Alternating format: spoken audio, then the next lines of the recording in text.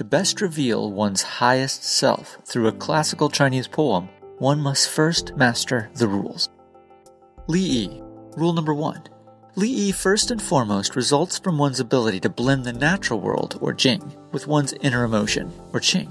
The first two lines introduce the Jing, or the natural setting.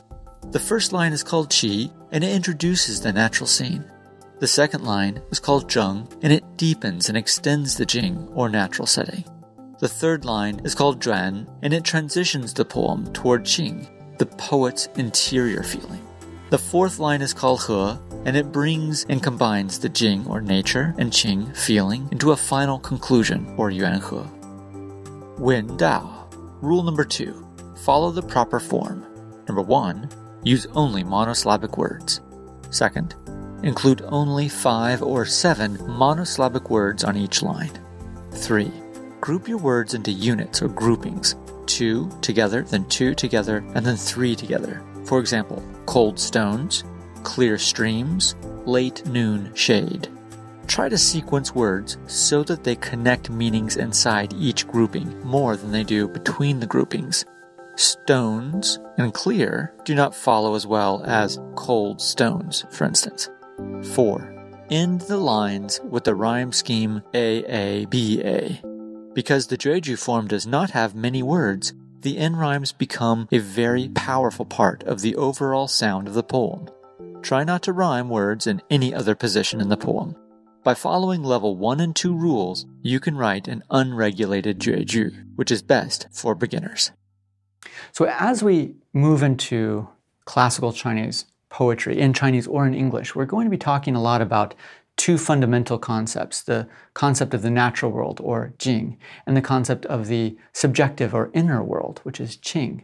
And so Li Yi, which is the poetryness of poetry, is different in the classical Chinese tradition than it is in the West. In the West, we might use metaphors as a, one of the primary engines that really makes a poem poetic. So her lips are a butterfly. It's a, it's a strange mashup, actually, but it is what makes a poetic line um, poetry.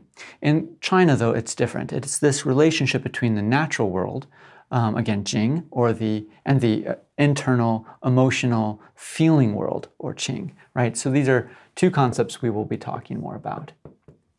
Jing, the setting, and it is usually the natural world, and Qing,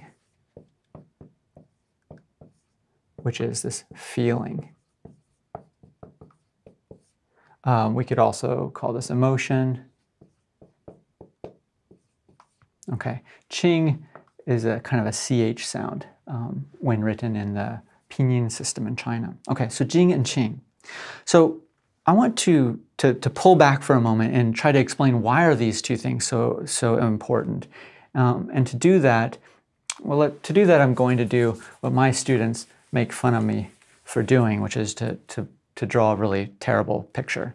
Um, so when we look out of our eyes, we look out windows. Okay. What we see out there is determined in part by how we're feeling in here. So let's say outside the window, we see a mountain, we see a stream, we see a tree. Okay. This will be the first line of a Chinese classical poem it's just setting the scenery.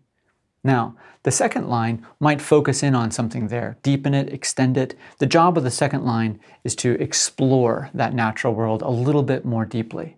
And so we have that mountain, we have a stream, we have something like a tree. Let's look at that tree now. That tree is here. And let's say this tree has a few buds on it. It's springtime. Now, if I left you with just those two lines, you would probably expect that the poem would be about rebirth or something positive because spring has that feeling in it. And that might very well be true. It likely is true. But the third line of a poem might introduce an unexpected emotion. For instance, what if the poet had lost a child and or uh, their lover or their mother or father? So maybe they're experiencing some kind of loss, homesickness, or grief. Now, how does it feel to see rebirth? Actually it might sting a little more. Um, the beauty out in the outward space as it's juxtaposed with your own emotion, could really heighten that emotion. And so now, rather than looking at a beautiful world, we're looking at some world tinged with human emotion. Let's switch it around. Let's imagine those leaves are now falling. All right, and they're on the ground, or a little bit of snow, or something like that. Now that world is barren. There are no birds calling, you know, or, or, or uh, singing. Um, you just have this barren world. That might look, especially when we zoom in on that tree, that we'll be talking about growing old, or age, or grief, or some, or loss, or something like that. But what if the third line introduced a hand pouring a cup of hot or warm tea? and that is your mother, or father, your lover, your child, or something like that, right? Now all of a sudden, that external world is warmed by the human sentiment. And in fact, the coldness of it is what heightens our feeling of belonging to someone, with someone, right? Um, that, that sense of warmth is extended and deepened by um, this external world. So the external world is always framed by the inner world. You could say that the external world is a scene, but there is no scene ever that is not first seen. So our understanding of the world is limited to how we understand the world. In other words, there is no world that is not seen through human eyes. There could be no knowledge or no experience of the outer world that isn't experienced from within this inner world, nor could we really express our inner world without reference to our context, to our environment, right? And so they are not separate from one another. And that is the deep wisdom of classical Chinese poetry and how and why when we read a really good poem, we feel at the end that we've benefited in some deep spiritual sense. We've learned of the oneness of the universe and our place within it. And that seems grand, and in fact, it is grand. Classical Chinese poetry uh, carries a heavy weight for culture. It produces and maintains deep ideas through time. And that's why people read poems 2,000 years old, um, still relishing them as if they were written yesterday. Universal, timeless ideas. Jing So, as we look at an example, maybe the most famous example of a Chinese poem, uh, we'll be looking at this poem by Li Bai. Uh, and this, believe it or not, is, I, I warned you, I'm a terrible artist. Um, this is a, a, picture of a bed, and this is moon, moonlight in a bed. The most famous Chinese poem, every Chinese student will have memorized this poem. I memorized the poem myself when I was 13, and it's a really great example of an unregulated Tang poetry poem or Jueju. So let's, um, let's read it and let's talk about this poem in relationship to the Jing, right, that we've been talking about, right, the scene, and the Qing, the emotion. Okay, so we start the poem. 床前明月光. That's the first line. Moonlight falls near bed. Okay. So that established this scenery or the setting of the poem. The second one, so that's called qi, right? Qi means to start the poem by establishing the setting. The next one, cheng, this means to deepen or extend that natural scene. 疑是地上霜. I doubt frost there spread. Okay, so there's something, you know, that moonlight is falling down on the bed and on the floor. The poet, we don't really see the poet because we're inside the poet's eyes, the poet here is seeing that light and imagining that it's a it's frost. Now that's a little bit like a metaphor um, because it's you know, but he's denying that it's true. It's not frost. It's just moonlight. Okay, so that's the beautiful first two lines, the first couplet, setting the scene, the jing. Okay, but then what happens? The third line will introduce a transition. It will bring forward the qing, or the emotion of the poem. So it goes, uh, you know, so let's take the let's take it all together here.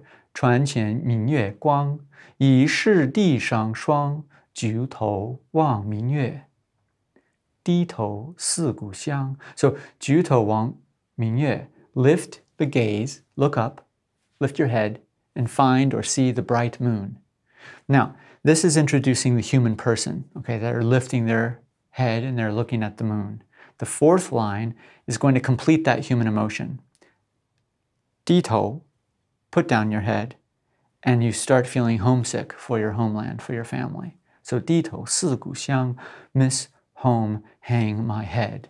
So the English, following our patterns that we're working on, only monosyllabic words, following the jing, qing, and so on, moonlight fall near bed, I doubt frost there spread, lift gaze, fine bright moon, miss old home hang head. So it has the same sonic pattern, but it also follows the li of the poem, right? Because it's a translation, it's taking us into the emotion.